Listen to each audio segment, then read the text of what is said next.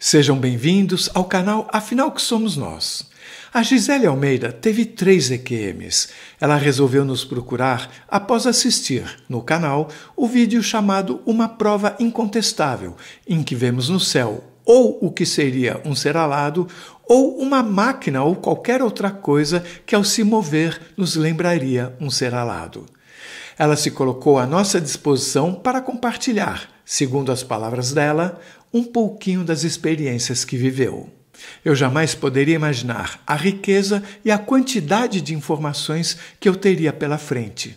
O resultado disso são 10 vídeos com uma duração total de quase 9 horas, com muitos detalhes sobre as três EQMs e muito mais. Como a gente sempre faz no canal, se pela nossa avaliação pela nossa análise lógica, as informações têm alguma chance de ser verdade, essas informações são compartilhadas, são publicadas, para que cada um de vocês possa fazer a sua própria avaliação e assim construir a sua própria verdade.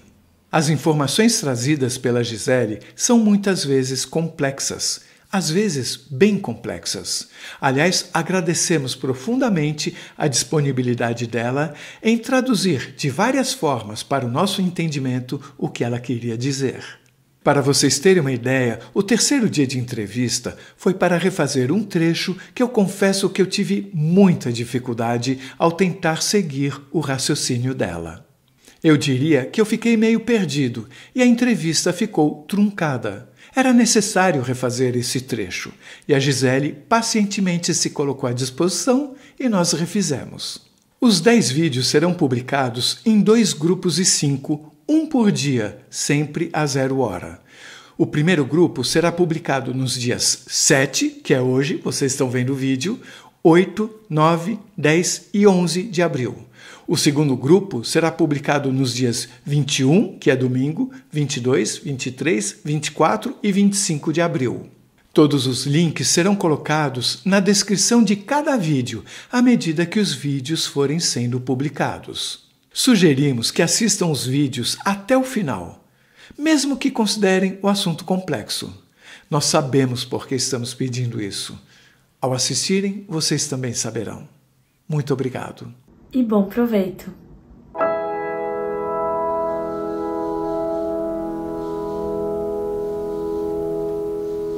Boa tarde, Gisele. Muito obrigado por você aceitar compartilhar conosco do canal Afinal, o que somos nós?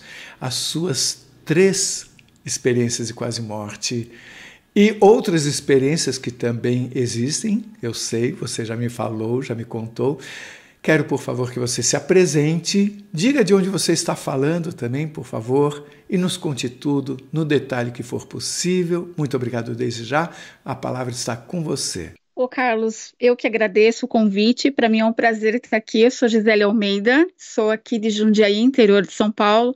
Estou próxima aqui de São Paulo, 40 minutinhos da Marginal Tietê. Tenho três experiências que são inexplicáveis, em alguns pontos. Eu, a primeira, quando aconteceu, eu fiquei bastante confusa. Era uma uh, era uma experiência, foi uma experiência muito forte. Eu era mais jovem, eu tinha 24 anos. Hoje eu tenho 44 e foi no parto do meu primeiro filho, que tem 18 anos hoje. É um parto que correu bem, apesar de eu, de eu ter questões com, com, com, gravidez, não podia ter filhos, mas correu uma gravidez que correu bem. É, eu decidi, por indicação médica e por ler também que o parto normal seria o melhor parto, e eu fiz essa escolha. Uh, só que nós tivemos alguns problemas é, durante o parto. Foram muitas horas, eu estava muito exausta e eu não consegui ter as, o valor de dilatação que era necessário. Então eu comecei a me sentir um pouco mal, achei que era decorrente ao esforço, ao cansaço, quando de repente apagou tudo. Eu senti uma dor muito forte no peito.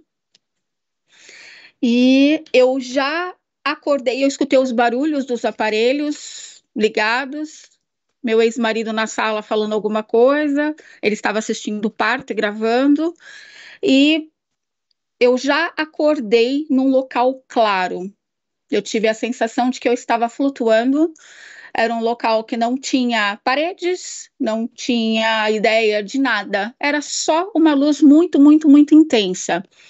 Ao longe, assim, não muito, tinha a presença de três seres que tinham o formato de humano, mas você não via os detalhes. Eles eram brancos e tinha, irradiavam uma luz muito forte.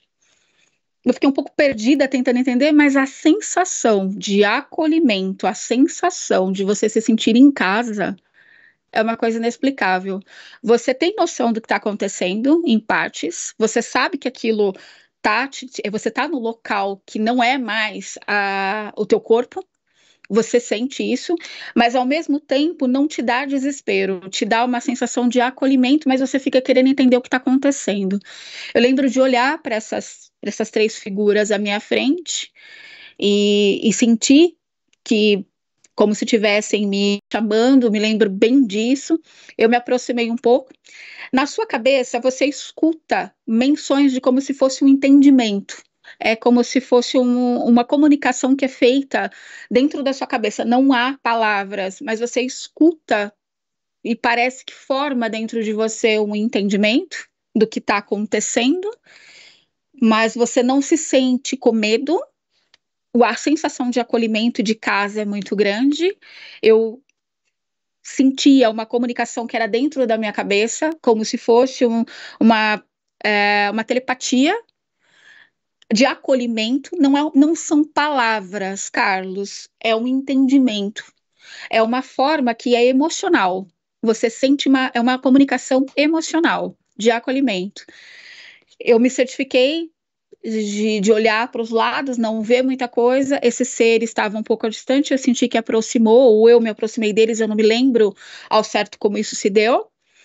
E eu me lembro de perguntar mentalmente: você não tem a ideia de falar? Você tem ideia, de, você participa dessa mesma troca que eles fazem com você? Eu perguntei: está acontecendo o que comigo? As consciências me passaram uh, a sensação de casa, de acolhimento. Eu sabia que estava acontecendo alguma coisa e que eu tinha que voltar, que eu, tava, eu estava em parto. E eu lembro de mencionar: eu estou em parto. Eles me disseram: tá tudo bem? Uh, você vai ficar aqui por alguns minutos, por alguns momentos, e você vai voltar. Uh, veio flashes de memórias na minha cabeça de várias partes da minha vida, mais voltado à infância, a imagem dos meus pais e eu senti puxar. Quando eu senti puxar, eu me assustei bastante. É uma sensação estranha de sucção. Quando eu senti sugando, você, eu, eu, quando eu acordei, eu já estava no meu corpo de volta, já estava, a, a coisa já estava se acalmando. Eu escutei o aparelho e, e escutei os médicos comentando: ela tá voltando, ela tá voltando, deu certo, ela tá voltando. Eu me lembro disso e ficar um pouco perdida entendendo o que estava acontecendo. Eu perguntei para o médico, ele falou que estava tudo bem, que teve umas intercorrências, mas estava tudo bem, que o Vinícius, meu filho, já estava sendo limpo, estava com a avó e com o pai nas mãos. Eu olhei para o lado, eu lembro de olhar para o lado, a sua imagem demora, fica tudo muito nítido as cores que você vê quando você volta, isso nas três aconteceu, ficam mais vívidas, você sente muito mais. E o ar parece que tem partículas. Você vê as partículas. É diferente isso. Eu lembro de ficar olhando, pensando se tinha alguma coisa errada com meus olhos, porque estava tudo com muita. As cores estavam muito fortes. Eu fechei o olho de novo, o médico perguntou como eu estava, veio outro médico, foi me acalmando. Eu senti muito, muito, muito sono. Talvez seja decorrência dos remédios que, que precisaram uh, usar comigo.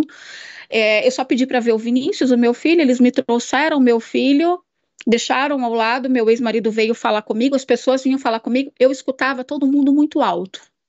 Parecia que as pessoas estavam falando num volume diferente. Eu sabia que era diferente, a voz delas era mais, mais nítida e mais alta, isso eu lembro bem. Eu adormeci, acordei horas depois, já estava tudo normalizado, e aí que eu fui saber que eu fiquei cerca de 40 segundos nesse processo de sem batimento cardíaco.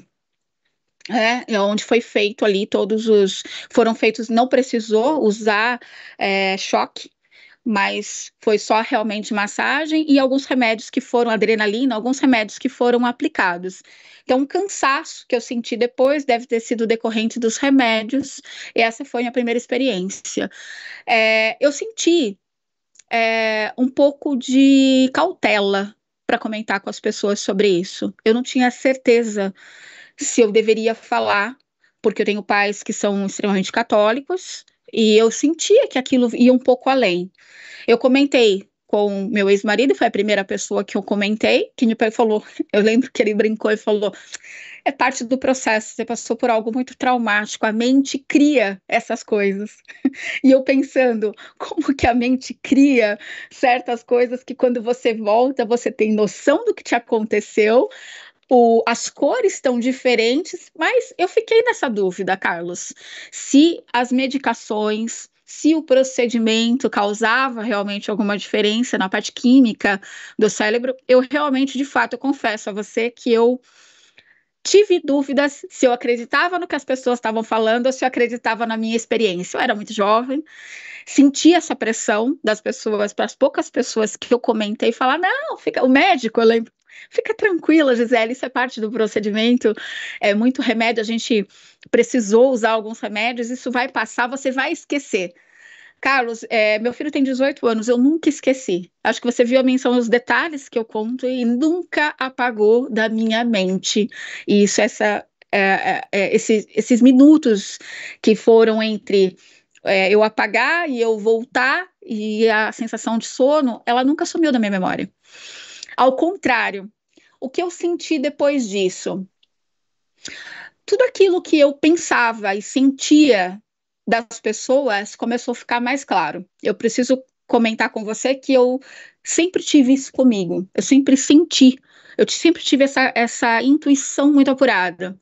Só que após esse evento, isso aumentou muito né? Eu achei que era a coisa maternal de eu estar sendo mãe, dizem, eu vi, li sobre isso, que quando a gente se torna mãe, a mulher se torna mais intuitiva, é até algo instintivo. Mas era demais, eu senti o que as pessoas estavam sentindo, elas não precisavam me falar. Então eu percebi essa diferença após, e eu não tenho como não falar para você que está correlacionado. Seria é absurdo eu não perceber essa diferença entre uma ocorrência e outra. Então, eu me tornei, sim, mais sensível às emoções, aquilo que eu chamo. Parece que os sentimentos das pessoas ficam, ficaram mais fáceis de ser lidos, de serem compreendidos por mim. Tá? Então, mudou, sim. Depois disso, eu, eu posso dizer que houve uma Gisele antes e uma Gisele após essa experiência, que foi só a primeira. Já pergunto para você: existe uma outra Gisele depois de cada experiência? Existe uma Gisele a cada experiência dessa. E as experiências continuaram, só que ficaram hard. em que momento do parto que sumiu tudo? O Vinícius não tinha. Nós tivemos que recorrer a uma cesárea de emergência. É, no momento que o médico falou, tá baixando muito o batimento cardíaco dela, nós precisamos fazer algo, foi a última coisa que eu ouvi. O meu médico, que foi o médico que fez o meu parto, que eu conheço até hoje. A hora que ele falou isso, eu já senti uma. Você vai apagando, você vai sumindo. Dá uma dor, é, você sente a dor, mas o apagar também o acordar em outro lugar é muito rápido. Tá? Então foi neste momento, a hora que começou o meu processo ali, que eles decidiram fazer uma, uma uma, uma cirurgia de emergência. Até então era para ser parto normal. Foi neste momento. O que você teve foi uma parada cardiorrespiratória.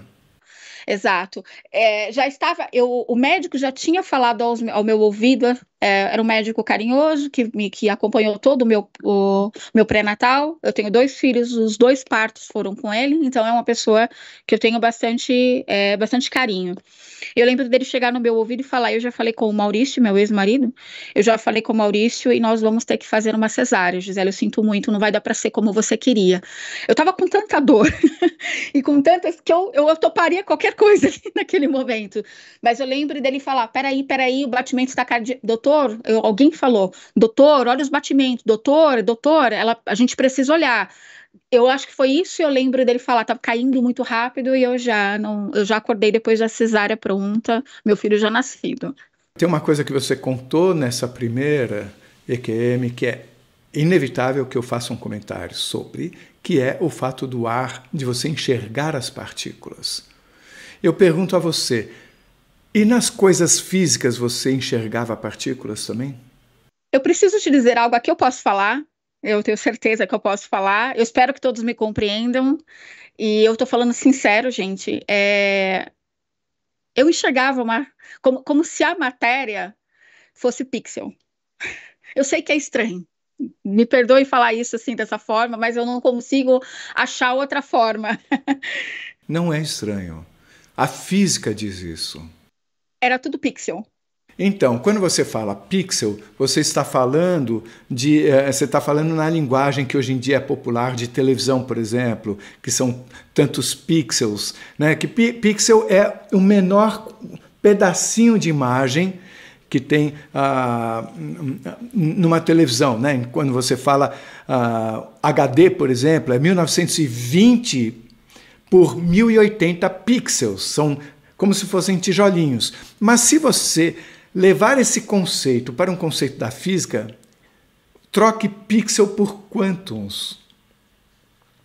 Porque quantum de física quântica nada mais é do que o equivalente a pixel. Só muda o nome. É a menor quantidade da informação presente ali naquela ocorrência. Então, uh, você, quando você fala que você via como se a matéria, eu vou trocar a palavra pixel por partículas, tá? Então, como, uh, quando você percebia que o ar é, é, era formado de partículas, e que você via isso na matéria, eu vou até trazer para você saber também que foi feita uma outra entrevista que uh, eu já não sei mais se já foi publicada, se não foi publicada ainda, porque eu me perco todo nisso. Uh, o que, que acontece? A pessoa, durante a EQM, ah, porque você, você viu o ar sendo né, feito de partículas quando você voltou ou na, na experiência? Quando eu voltei. Quando eu voltei essa pessoa, durante a experiência de quase morte, ela via que o ar, as pessoas, o cachorro, a parede e as pedras, todas eram feitas das mesmas partículas. E que o que mudava de um para outro era a vibração, como se ela notasse que a, as pessoas tinham uma vibração maior, o cachorro um pouco menor, a planta um pouco menor, a, a pedra um pouco menor, a, a, pedra não tinha, e o ar eu não me lembro se tinha ou não, mas o ar era transparente, mas ele via, a, pessoa via as mesmas partículas. É interessante porque isso, você, eu acho que é você é a terceira pessoa que me fala isso, e isso está absolutamente em convergência com uma visão física, de acordo com a, a, o que a gente pensa em. que a física quântica trouxe essa compreensão, que é o seguinte: tudo é feito da mesma coisa.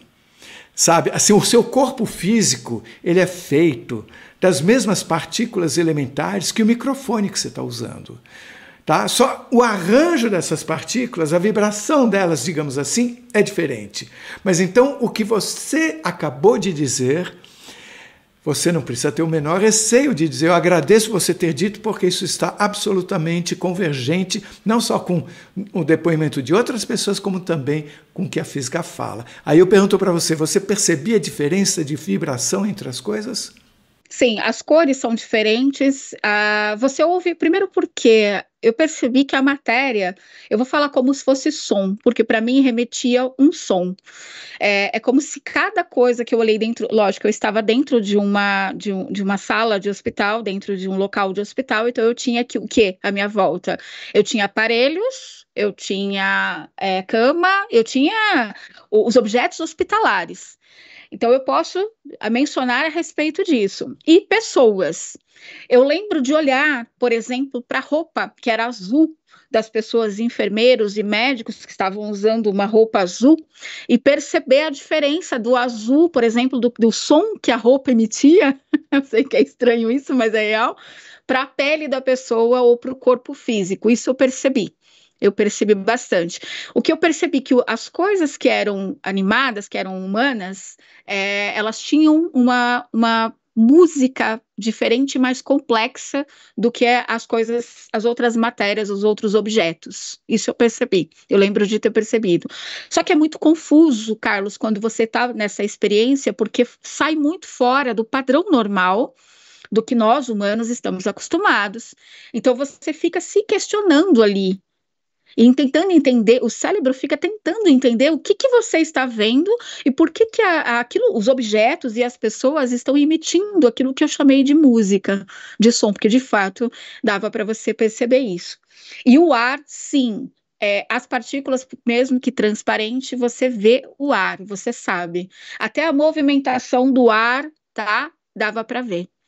Agora é interessante que você é a primeira pessoa que me conta ter observado isso depois de ter voltado.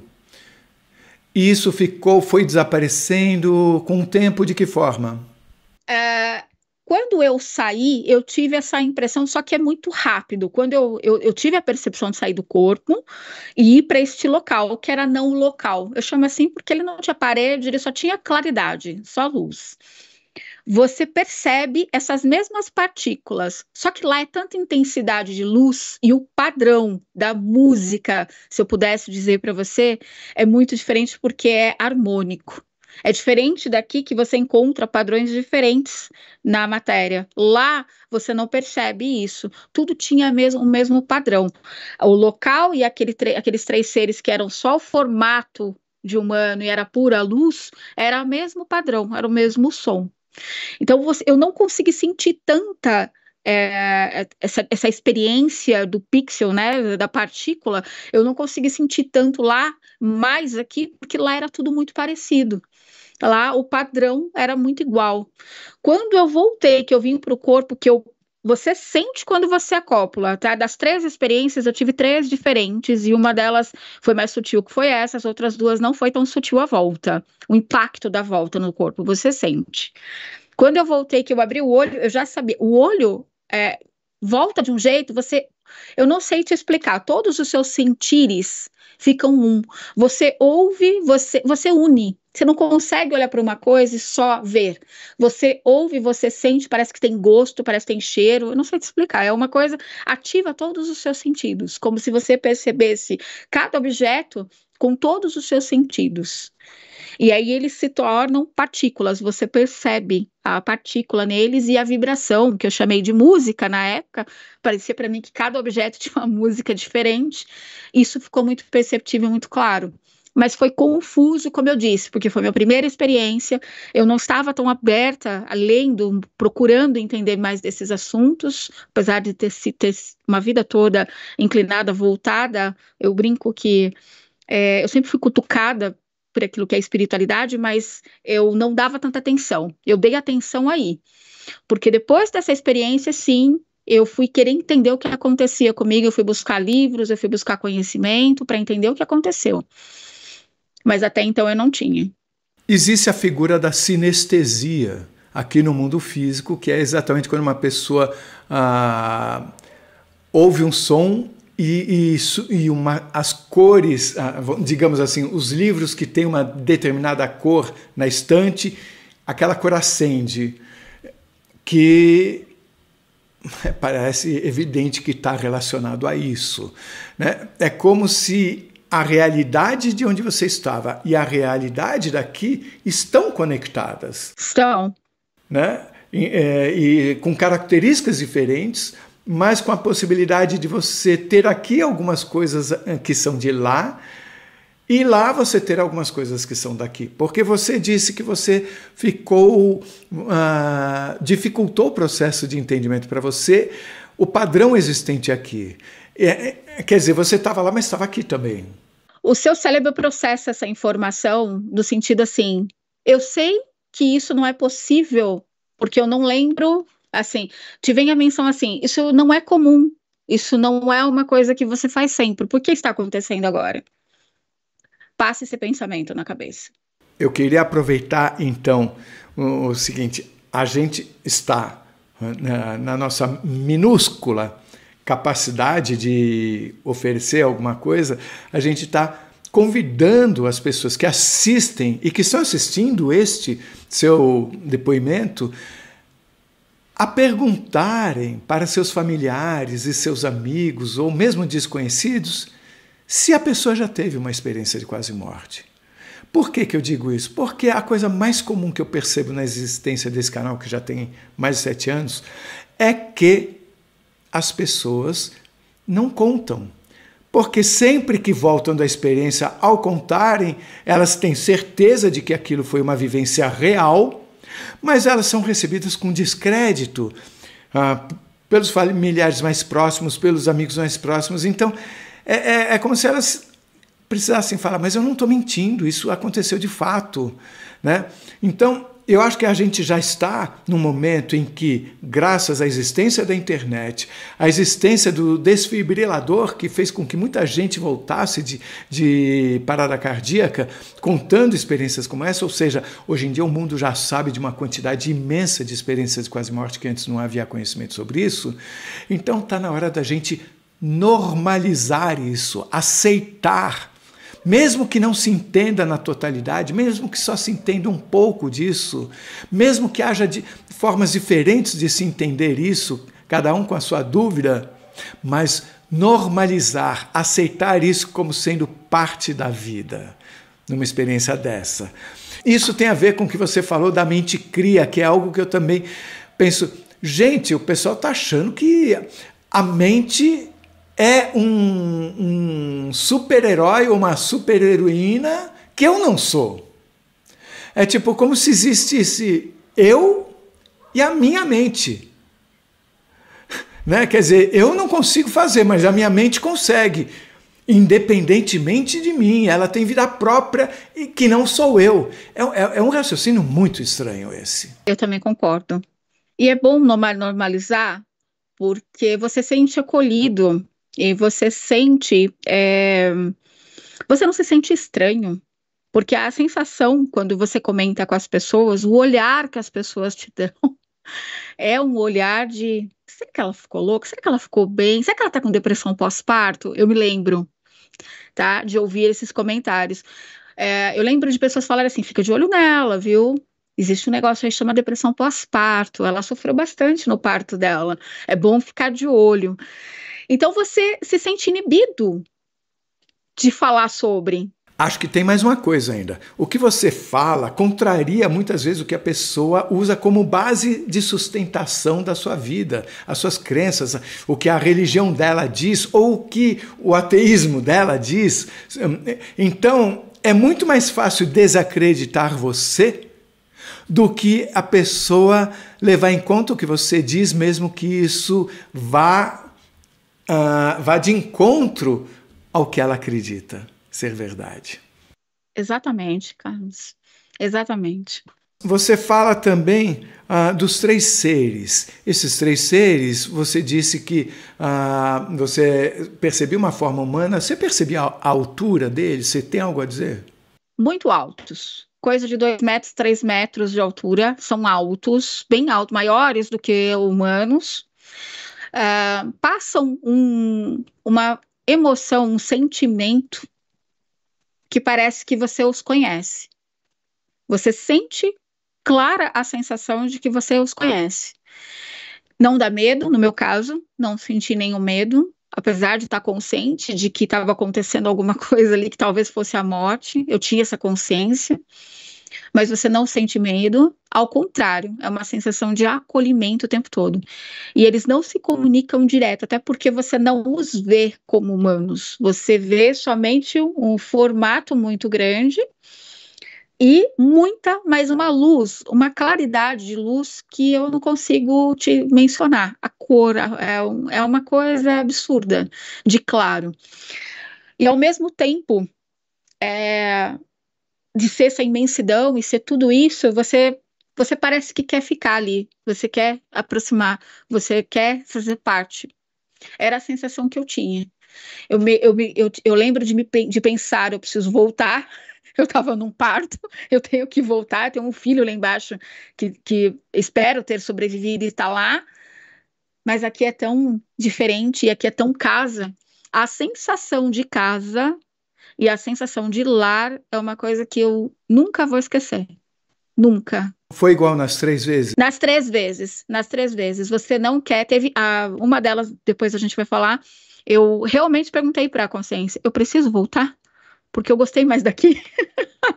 Entendi. Você sentia uh, simultaneamente a, a, essa compreensão do que estava acontecendo aqui no, nessa nossa dimensão, você sentia o, como se você, como se o conhecimento existente nessa outra dimensão fosse seu também, como se você soubesse muito mais das coisas quando você estava lá do que aqui?